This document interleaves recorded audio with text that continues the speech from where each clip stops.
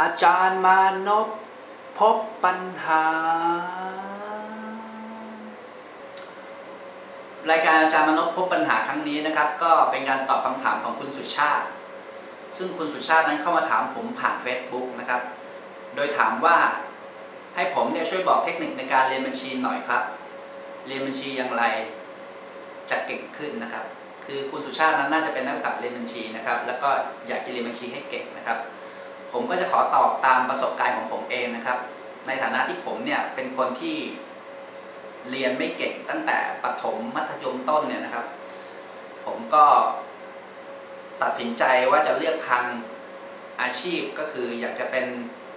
นักบัญชีนั่นเองนะครับ อยากจะเป็นคนที่เรียนบัญชีนะครับ ในตอนนั้นก็ไม่รู้จะตัดสินใจเลือกอะไรแล้วก็เลยเลือกเรียนบัญชีนะครับ อเลือกเรียนบัญชีเราก็ต้องมองเป้าหมายของตัวเองว่าเราจะต้องมีอาชีพในอนาคตก็คือเป็นนักบัญชีแน่นอนนะครับ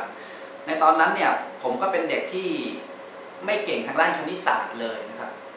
บวกลบคูณหารเป็นแค่เพียงเท่านี้เองนะครับ ส่วนอะไรที่เป็นคณิตศาสตร์ชั้นสูงๆเนี่ย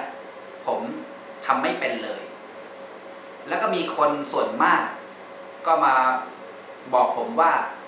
คนที่จะเรียนบัญชีได้ดีนั้น จะต้องเก่งคณิตศาสตร์ คนที่ไม่เก่งคณิตศาสตร์เนี่ยไม่เหมาะที่จะเรียนบัญชี ผมได้ยินคำนี้ตั้งแต่ผมเริ่มตัดสินใจที่จะเลิกเรียนบัญชีครั้งแรกแล้วแต่ผมก็ไม่สนใจคำพูดของคนที่เขาพูดนะครับ ผมสนใจแค่เพียงว่า ผมอยากจะเรียนบัญชีเท่านั้นเอง โดยผมไม่สนใจคำกล่าวอ้างนะครับ ที่เขาบอกว่าต้องเก่งคณิตศาสตร์ถึงจะเรียนบัญชีได้นะครับ ผมไม่สนใจ ผมก็ตัดสินใจเรียนเลย โดยผมเข้าเรียนบัญชีครั้งแรกเนี่ย ผมก็ตั้งใจเรียนนะครับ และผมก็รู้ว่าการเรียนบัญชีให้ดีนั้น หรือให้เก่งมากขึ้นนั้นเนี่ยมันก็ไม่จำเป็นจะต้องมีความรู้ทางด้านคณิตศาสตร์พื้นฐานอย่างมาก ขอแค่เพียงคุณบวกลบคูณหารเป็น และถ้าเกิดคุณบวกลบคูณหารช้า คุณก็ใช้เครื่องคิดเลขนะครับ ซึ่งเด็กบัญชีเนี่ยก็จะมีเครื่องคิดเลขเนี่ยนะครับเอาไว้ใช้ประกอบคู่กายกันเลยนะครับ ดังนั้น ไอ้ปัญหาที่คุณได้ฟังคนอื่นมาบอกว่าต้องเก่งคณิตศาสตร์แล้วถึงจะเรียนบัญชีดีนั้น ก็ไม่จำเป็นนะครับจากประสบการณ์ของผมเนี่ยที่ผมเรียนบัญชีผ่านมา 9 ปี แล้วก็มีประสบการณ์ในการทำงานในการเป็นอาจารย์ อยู่ในแวดวงบัญชีมาอีกประมาณสัก14 ปีเนี่ยผมก็พบว่าวิชาบัญชีไม่ใช่วิชาที่ยากจนเกินไป และไม่ได้เป็นวิชาที่จะต้องอาศัยความรู้พื้นฐานตั้งแต่มัธยม ไม่จำเป็นเลยนะครับ มันเป็นความรู้ที่เราจะต้องได้ใหม่จากการเรียนในห้องกับอาจารย์ที่สอนเราเท่านั้นเอง ดังนั้นแม้ในอดีตเนี่ยคุณเป็นเด็กที่เกเรไม่มีความรู้เรียนไม่เก่งหัวช้า แต่ถ้าเกิดคุณมีความมุ่งมั่นอยากจะเรียนบัญชีเนี่ยคุณสามารถเรียนได้ ขอแค่เพียงคุณมีเครื่องคิดเลข และคุณมีความอดทนที่จะเรียนมัน แค่นี้ผมว่าก็เป็นสิ่งสำคัญแล้วนะครับพี่จะทำให้คุณเรียนบัญชีได้ดี คราวนี้เมื่อคุณตัดสินใจที่จะเรียนบัญชีแล้วเนี่ย มันก็จะมาสู่ขั้นตอนต่อไปก็คือว่า แล้วจะเรียนอย่างไรให้สอบให้ได้คะแนนที่ดีๆนะครับ เพราะว่าไอ้ที่คุณถามว่าเรียนยังไงให้เก่งนั้นมันก็ต้องวัดจากการสอบนะครับ จะทำยังไงดีให้สอบได้ วิธีการที่ผมจะแนะนำก็คือ คุณควรจะต้องตั้งใจเรียนในห้องที่อาจารย์สอน ตั้งใจนะครับ พอตั้งใจเสร็จ หลังจากเลิกเรียนเนี่ยอาจารย์จะต้องสั่งแบบหัดสั่งการบ้านให้ฝึกทำคุณก็ไปฝึกทำ แต่ก็อยากจะแนะนำว่าก็ลองไปฝึกทำอยู่กับกลุ่มเพื่อนน่าจะดีนะครับ เพราะว่าถ้าเกิดคุณทำแล้วไม่เข้าใจจุดนี้เพื่อนคุณอาจจะรู้เพื่อนคุณก็อาจจะแนะนำคุยไปคุยมาเนี่ยความรู้มันก็เข้าสมองไปโดยปริยาย แต่ถ้าเกิดคุณไปนั่งทำคนเดียวเนี่ย พอเวลาคุณเจอโจทย์ คุณอาจจะถอดใจไม่อยากทำแล้วเพราะว่าคิดไม่ออกไม่รู้จะทํำยังไงทำไม่ได้ สุดท้ายก็ต้องรอบเพื่อนส่งตอนเช้า ก็ไม่เกิดประโยชน์อะไรเลยนะครับ ดังนั้นถ้าเกิดเวลาทำงานบ้านก็ควรจะต้องไปฝึกทำกับเพื่อน หรือ เพื่อนไม่ค่อยอยากจะฝึกทำเราก็ควรจะต้องฝึกทำเองนะฝึกทำให้ได้ แล้วก็ไปฟังคำเฉลยจากอาจารย์ในห้อง มีอะไรที่ไม่เข้าใจก็ถามอาจารย์ในวันนั้น คุณควรจะต้องฝึกทำก่อน ให้พบปัญหาว่าไอ้โจทย์ข้อนี้จุดตรงไหนบ้างที่คุณเนี่ยทำไม่ได้ มันเกิดปัญหาจดเอาไว้เลย ว่ามันทำยังไงตรงนี้ทำไม่ได้แกะไม่ออกจดเอาไว้ไอ้ช่วงที่คุณจดเนี่ยช่วงที่คุณพบปัญหาในการฝึกทำแบบหัดเนี่ย สมองคุณมันจะเหมือนมันรอคำตอบอยู่ และเมื่อคุณไปฟังอาจารย์พูดในห้องในอาทิตย์ถัดไปที่คุณมีเรียนเนี่ยคุณก็จะจำมันได้ลึกซึ้งมากกว่าเดิม ผมคิดว่าอย่างนี้นะครับ เวลาเราเจอปัญหาเนี่ยมันจะทำให้เราจำมันได้ยาวนานนะครับ คราวนี้ผมก็อยากจะมีคำอ้างจากนักจิตวิทยานะครับ ที่เขาได้ทำการศึกษาเกี่ยวกับความจำความลืมของมนุษย์เนี่ยเขาบอกว่าเมื่อเราอ่านหนังสือผ่านไปหนึ่งวันเนี่ยนะครับ เราจะมีหน่วยความจำที่เราเคยอ่านผ่านไปหนึ่งวันเนี่ยจำมันได้แค่เพียง 50%เท่านั้นเอง และความจำที่เราเคยอ่านมันมาเมื่อหนึ่งวันก่อนเนี่ยมันจะลดลงอย่างละครึ่งทุกๆ 7 วัน ทุกๆ 7 วัน ก็แปลว่าเมื่อคุณอ่านหนังสือผ่านไปประมาณ 21 วันเนี่ยคุณจะเริ่มลืมเรื่องราวที่คุณเคยอ่านแล้วนั่นเอง ดังนั้นคุณควรจะต้องอ่านและฝึกทำแบบหัดอยู่เป็นประจำนั่นเองนะครับ แต่ผมก็คิดว่าการเรียนบัญชีนั้น โดยมากในเนื้อหาของบัญชีเนี่ยเรามักไม่ค่อยได้อ่านหนังสือกันหรอกครับ เราแค่ฟังอาจารย์อธิบาย แล้วก็มาฝึกทำแบบหัด เวลาฝึกทำทำไม่ได้ก็อาจจะดูหนังสือบ้างว่าเออมันมีคำอธิบายตรงไหนนะ ที่จะทำให้เราทำแบบหัดข้อนี้ได้ เราก็กลับไปดู ดูแค่เพียงบางจุดที่เราอยากจะรู้ และเมื่อเราทำแบบหัดเสร็จแล้วไปฟังอาจารย์เฉลย แล้วเราก็กลับมาคิดว่าไอ้ข้อเนี้ยมันมีหลักการคิดอย่างไรทำไมเราถึงทำมันไม่ได้ในตอนแรก แล้ว มันควรจะต้องคิดอย่างไรนะครับ เราทำมันให้ได้ หลังจากที่อาจารย์เฉลยแล้วเนี่ยก็มาฝึกทำแล้วก็ใช้แง่คิดที่อาจารย์อธิบายเนี่ยนะครับจำมันให้ได้ทำซ้ำทำซ้ำจนกว่าจะจำและเข้าใจมันนะครับ บางทีเนี่ยเราอาจจะยังไม่เข้าใจหรอกแต่ถ้าเกิดเราทำซ้ำบ่อยๆเนี่ยเราจะเข้าใจมันโดยปริยาย ซึ่งไอสิ่งที่ผมพูดเนี่ยมันมาจากประสบการณ์ผมนะครับ บางทีที่ผมสอนหนังสือนักศึกษาเนี่ยผมอาจจะรู้ว่าไอหลักการเนี้ยทฤษฎีไม่ผิดแน่เพราะหนังสือมันเขียนมา ผมก็สอนเด็กอย่างเงี้ยอยู่ประมาณสองสามครั้ง แต่บางทีผมอาจจะยังไม่เข้าใจในความลึกซึ้งของเนื้อหาที่หนังสือเขียนนะครับ ผมสอนอย่างเงี้ยอยู่ประมาณหลายครั้ง จนผมเข้าใจมันด้วยการทำซ้ำอยู่เรื่อยๆนะฮะบบางทีเราอาจจะยังไม่เข้าใจมันในตอนแรกนะฮะแต่ถ้าเราทำซ้ำอยู่บ่อย เราอาจจะเข้าใจมันได้ ก็ได้นะครับ ตรงนี้ก็เป็นสิ่งที่ผมเนี่ยได้พบจากประสบการณ์ของผมเองนะครับ ดังนั้นอยากจะเรียนบัญชีให้เก่งเนี่ยนะครับ ก็ควรจะต้องฝึกทำแบบหัดเยอะๆนะครับไอการฝึกทำแบบหัดเยอะๆเนี่ยจะทำให้เราเข้าใจเข้าใจได้ดีนะครับ ต้องฝึกทำคนที่เรียนบัญชีเนี่ยไม่จำเป็นต้องอ่านหนังสืออะไรมากมายนะครับ ฝึกทำแบบหัดให้ได้ อาจารย์มีแบบหัดข้อไหนมาให้ทำเราก็ทำและอาจารย์จะไม่ออกข้อสอบเกินกว่าแบบหัดที่เขาเคยให้เราฝึกทำนะครับ เพราะว่าลักษณะการทำโจทย์ของบัญชีเนี่ยมันก็จะเหมือนเหมือนกันมันมีเกร็ดเล็ก ๆ น้อยๆแตกต่างกันนิดนึงนะครับ ดังนั้นโจทย์ที่อาจารย์ออกมาหรือข้อสอบที่อาจารย์ออกมาเนี่ยมันจะ ไม่ไกลเกินกว่าแบบหัดที่เราได้ฝึกทำอย่างไรก็ตามเราควรจะต้องฝึกทำแบบหัดหลาย ๆ ข้อนั่นเองนะครับ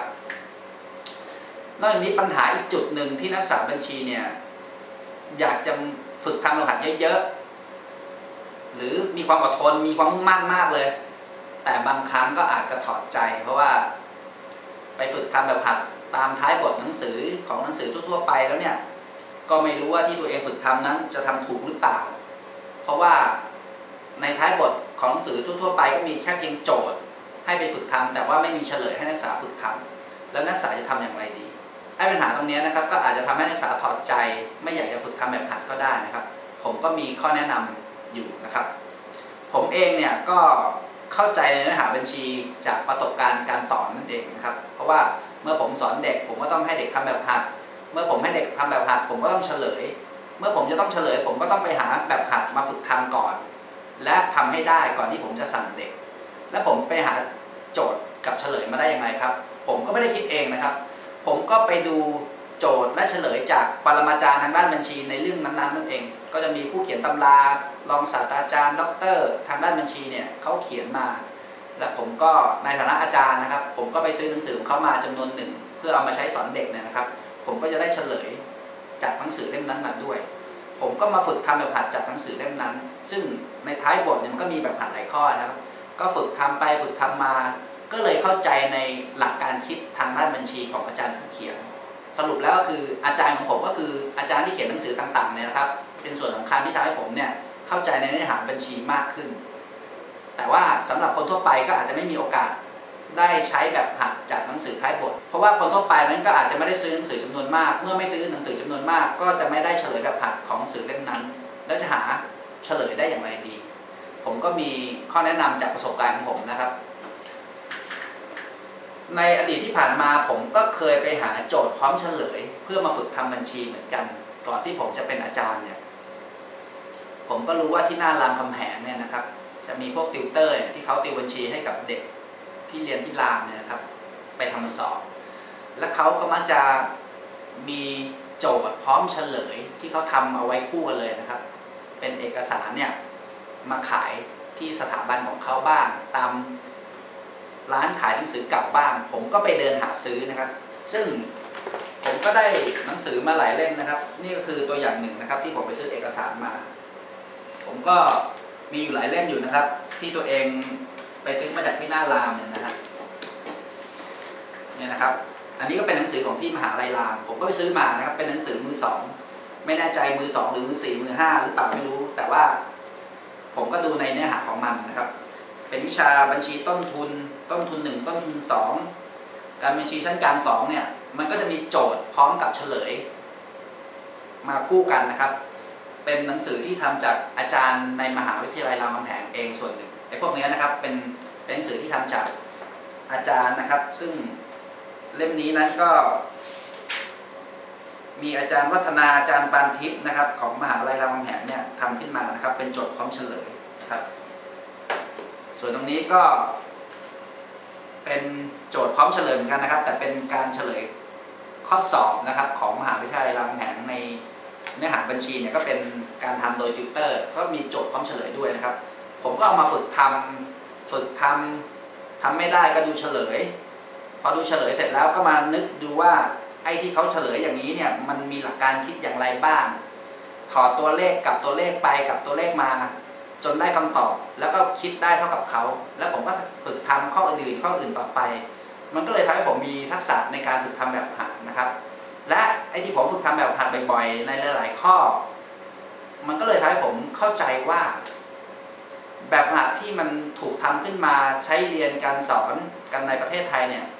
ลักษณะโจทย์มันก็ไม่ได้มีความแตกต่างอะไรกันเลย มันก็เหมือนเหมือนกันนะครับ ดังนั้นถ้าเกิดคุณอยากจะทำสอบให้ได้ดีเนี่ยคุณควรจะต้องฝึกทำแบบหัดเยอะๆทำแบบฝึกหัดให้มันหลากหลาย